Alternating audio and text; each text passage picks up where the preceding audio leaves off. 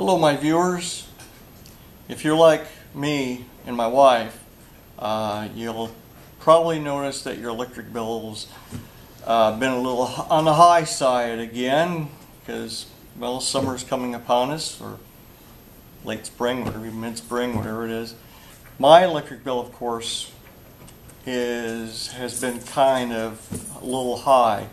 Higher than I would like to see it anyway. So I wanted to go ahead and check the amp draw on the compressor in my air conditioner and make sure that it it's uh, not overamping or anything like that.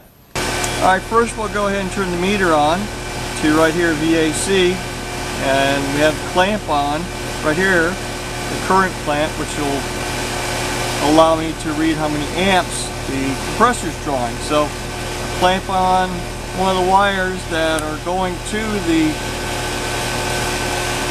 uh, compressor and I'm getting like 11.6 amps right there. The label says that the compressor should be at 14.10 uh, rated load amps so that's pretty good.